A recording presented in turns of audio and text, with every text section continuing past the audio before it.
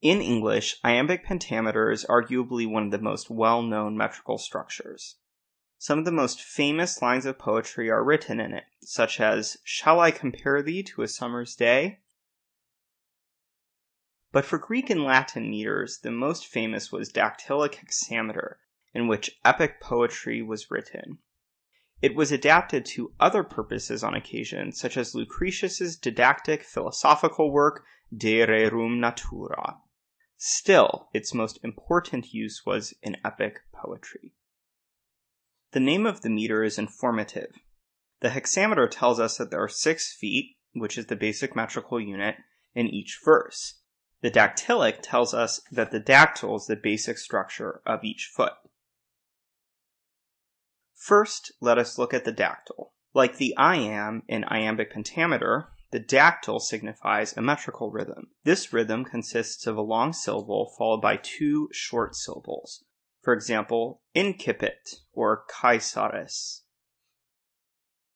You might be wondering why it's called a dactyl. The Greek word daktylos means finger. If you look at a finger, you'll notice that it is made up of one long and two short segments, hence the name.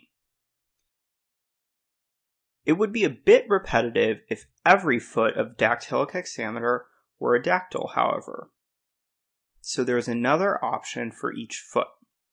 The poet can replace the two short syllables in the dactyl with one long syllable, creating a metrical rhythm consisting of two long syllables called a spondee. Examples include spero and iudex. Thus, in dactylic hexameter, the poet may use in each foot either a dactyl, like incipit, or a spondee, like spero. You will notice that a spondee takes about the same amount of time as a dactyl. For this reason, this switch does not change the total quantity of the line. Replacing two short syllables with one long syllable in poetry is called contraction. In essence, the dactyl and spondee are the building blocks that make up a verse of dactylic hexameter. Now, let us look at how these blocks fit together. Remember that a verse of hexameter has six feet. In practice, the first four feet can each either be a dactyl or a spondee. The fifth foot is almost always a dactyl, but occasionally it is a spondee for some poetic effect or emphasis. The sixth foot is slightly different. It is always two syllables, and the first syllable is always long. The second syllable can be either long or short according to the rules of syllable quantity, but it is always treated as long because it is at the end of the line and the reciter of the poem pauses slightly before moving on to the next line. Let us consider two lines of dactylic hexameter as examples. The first comes from the first book of Virgil's Aeneid. Tantae molis erat Romanam condere gentem. How do we determine the metrical structure of this line? This process is called scansion, and it involves nothing more than considering syllable quantities. Let us begin. Tantae has two syllables, both of which are long, so the first foot is a spondee. The first syllable of molis is long by nature because of the long O, and the second syllable has a short vowel. The syllable is open because erat begins with a vowel, not a consonant, so the second syllable of molis is short. The first syllable of erat is short for the same reason, so the second foot is a dactyl. The third foot, like the second, straddles two words.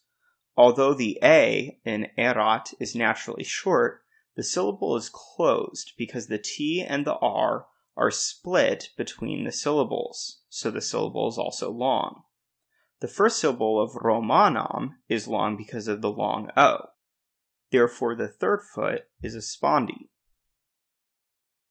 The fourth foot comprises the rest of romanam.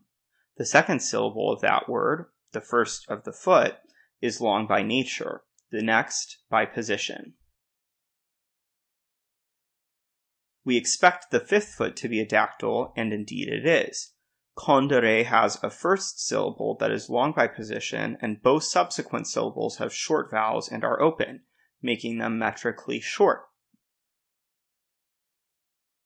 The sixth foot has a long first syllable, gen, and a next syllable that is treated as long, tem. We have successfully worked through a line of hexameter. You might notice that in several cases the word breaks do not line up with the foot breaks. This is very common and there are good reasons behind it, but such a discussion extends beyond the scope of this video. Now take a minute to try scanning the second verse of Catullus 116. Qui te lenirem nobis neu conarere.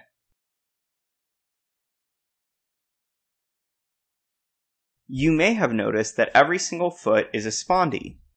The final E, although naturally short, is treated as long, as all final syllables in dactylic hexameter are. This metrical structure is so rare that this one line is the only example of it after Ennius. Dactylic hexameter, while a specific structure, permits a great deal of flexibility within it, something of which the poets took full advantage.